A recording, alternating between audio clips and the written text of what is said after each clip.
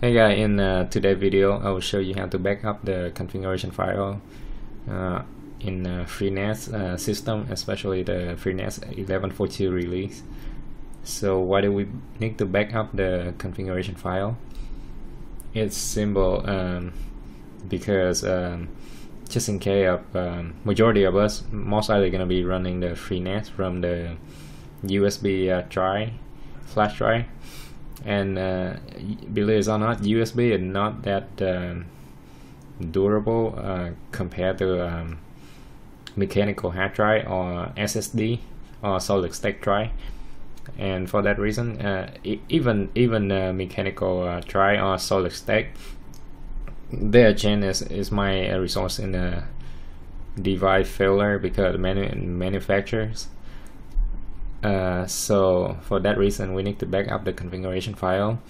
And another reason is if uh, your USB or your boot drive fail you don't want to set everything up uh, from scratch because it's time consuming and nobody like time consuming right? So that's the reason. And with that from your FreeNAS homepage you want to go down to system. And uh, general and easy. You just hit on a save config for um, all configuration. And it's gonna pop up the um, dialog is say that uh, export password uh, secret seed uh, and by default unchecked so what is uh, password secret uh, secret seed? Uh, so on the FreeNAS uh, user manual it did tell you right here um, when save the config, it choosing a new screen uh, giving the option for include the password uh, secret seed with the save configurations, allowing the configuration to be restored with a different boot device where the decryption uh, seed is not already present. Um, configuration backup containing uh, the seed must be physically secure to prevent a decryption of the password and unauthorized access. So basically what it means is it's your uh, encryption key for your pool. So when you first set up FreeNAS, it have an option for you to encrypt uh, your pool. And uh, if you have sensitive data on it, and it's gonna generate an um, encryption key. And it can ask you uh, to download it. Uh, so later on, if you want to access the data, let's say your USB crash and you restore the configuration file and you want to access that pool and you don't have the key and uh, your configuration file wasn't included the password secret seed you will not able to access your data. And with that because the configuration file is not actually encrypted backup uh, that's why they said that it had to be physically secure.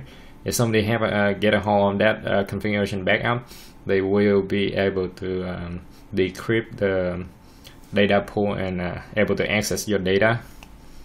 Uh, most of the most likely going to be home users, so it's not going to be issue. But at least keep it somewhere that uh, only you, the one who have access to it. And go back to FreeNAS. So that's what I gonna select. Just because I'm lazy. All right. For those you didn't want to do that, um, you have an option to uh, save the configuration file without the um, export it without a uh, password uh, secrecy. And if you do that, you uh, make sure that you have the um, encryption key before uh, you detach the um, the the pool or you moving it to the newer system. So uh, from your storage, you go down to pool. Any pool with the um, the little block right in front of it, it means the encryption is on, and you hit on it, and you click on the little lock icon. It will let you download the encryption key. Uh, so if you choose not to include the encryption key um, when you um, do the configuration backup, uh, you have to manually make sure that you manually download the key uh, without it key you will not be able to access uh, data when you uh, move it to the new system. And uh, with that uh, that um, the reason why I'm making this video because I'm actually in the process of moving my FreeNAS to uh, EXSI um, so the next in the next couple video I'm gonna have some uh, tutorial FreeNAS and uh, EX uh, on uh, EXSI and how you set it up. Uh, and like always thank you for watching and if you think the video is helpful don't forget to subscribe and like and if you can share to your friend that even better. Thank you guys and I'll see you guys in the next one. Bye